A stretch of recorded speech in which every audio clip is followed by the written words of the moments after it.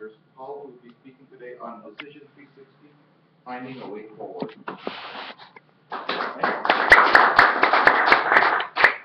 One of the family members, not the other. The founding. No, no, no, that's.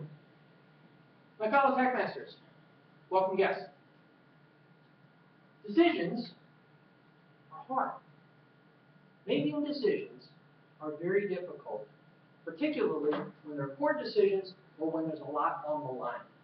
Big money or a lot of angst in your personal life. As tech masters, we work on decision-making skills week to week to week to get over our fear. But most people, in general, are paralyzed by indecision when it comes to making big decisions.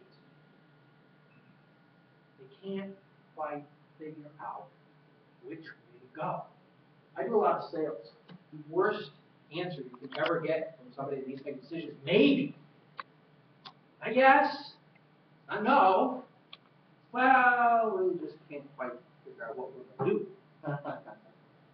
That's the problem. I want to talk today a little bit about, a scenario, how you can help people who are stuck in the decision-making process. This framework applies to personal decisions, because everybody, no matter who you are, will face big decisions where occasionally you will be stuck.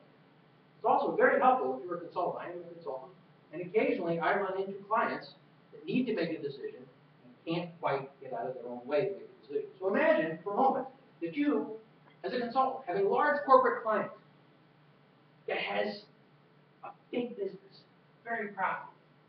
Unfortunately, they have a really crappy ancient technology stack that's 40 years old, hmm. baked into the DNA of the corporation. It affects everybody from the lowliest clerk to the CEO. It's entwined, meshed. And they are trying to decide change or not to change. That is the question they are wrestling. Guess what? They are stuck. They're just going round, round, round.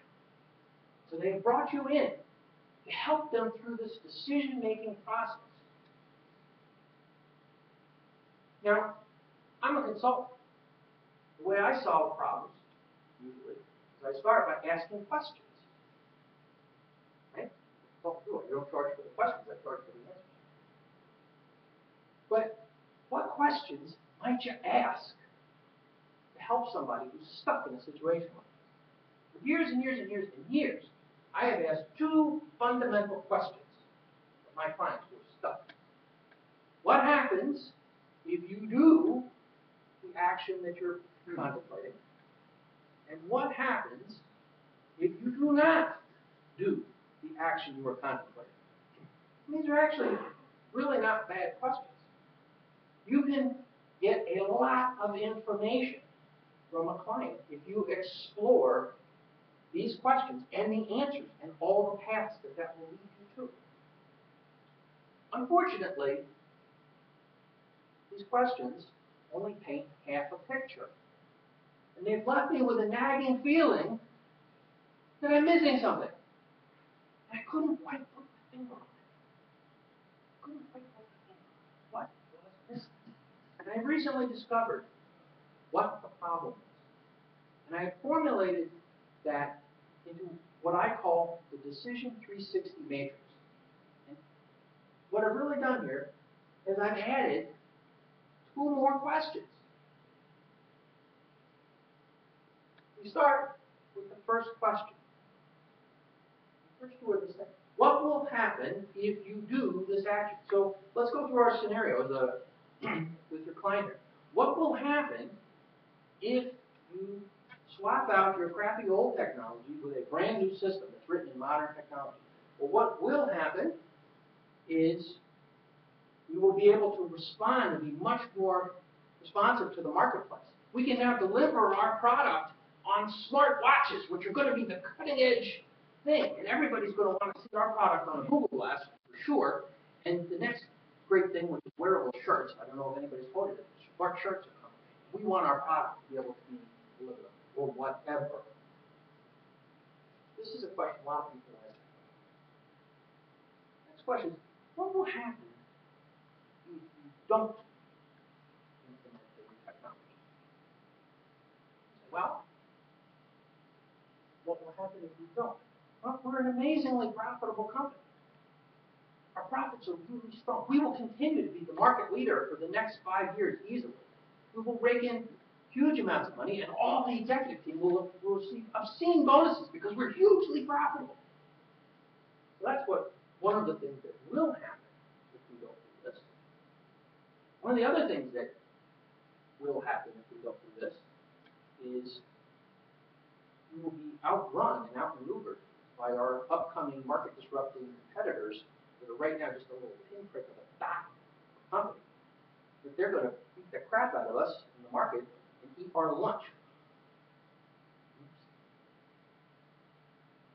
Here's where it gets interesting. Here are the next two questions. What won't happen? What won't happen if we do what we're trying to do? What won't happen if we implement this new technology? This is where it starts to get a little interesting. Okay, what won't happen? What won't happen is when our three senior developers who know the system inside and out retire next year, we won't have a panic attack and wind up collapsing our entire business because nobody knows how to run the system. And we won't be held hostage for a really crummy technology if we implement technology. A lot of these questions, this, this one in particular, a lot of times you can, if you ask this question, there are two things that happen. You will come up with positive attributes or answers, or we won't be held hostage for technology. That's means a benefit. But you also come up with negatives if you really explore the question. What won't happen? Well, what won't happen is, you know, in the last five years, we've budgeted to do Project Flying Monkey, which is a major corporate strategic initiative, and if we do this project and develop and devote all our resources, we won't have time to do Project Flying Monkey, whatever that is. That is called the opportunity cost. In the world of finite resources, and finite money, finite time, you often have to give something up to do something. So exploring what won't happen if you do something is the opportunity cost. You have to factor that in. Sometimes that can be daunting, it can be overwhelming. The next and last question is one really that's kind of hard to wrap your brain around. What won't happen if we don't do this? So, of a double negative. What won't happen don't do this? Well, as I mentioned under one of the earlier ones, we've got a tiny pinprick of a competitor coming up who's about to run rings around us. And so if we don't do this, we won't be an ongoing concern because they're going to eat our lunch and they're going to drive us out of business because our costs are way too high. The other thing that will is we decide not to do this. We won't spend every waking minute in our corporate life here arguing about whether we should or shouldn't do this. We can actually get on and, and implement Project Flying Monkey and move on and try to address our issues some other way. This question goes to the heart of the value of the opportunity. If you don't do something, what benefits do you lose by not doing? It's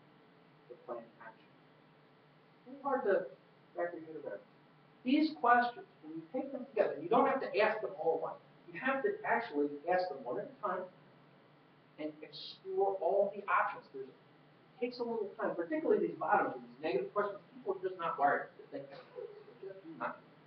And it takes a little while to let this percolate through the, particularly through your clients, and if they're in a corporate environment or management team, it takes a while to let that bubble up. Can learn a lot about what you're trying to do, what it really entails, the cost of doing it, the cost of not, what are the implications?